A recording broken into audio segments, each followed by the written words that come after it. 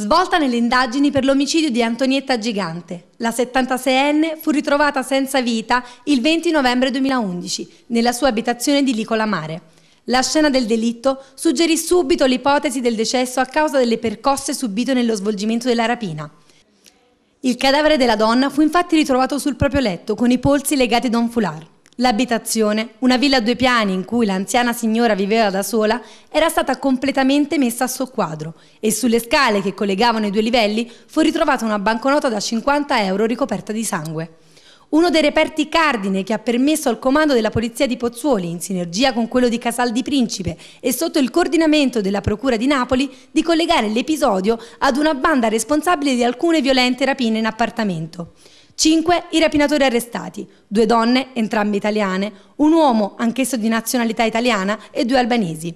Gli uomini delle forze armate hanno dovuto prendere in considerazione diverse piste, dato il legame di sangue che legava la vittima a Gennaro Longobardi, l'uomo ritenuto capo clan dell'omonima associazione criminale di Pozzuoli.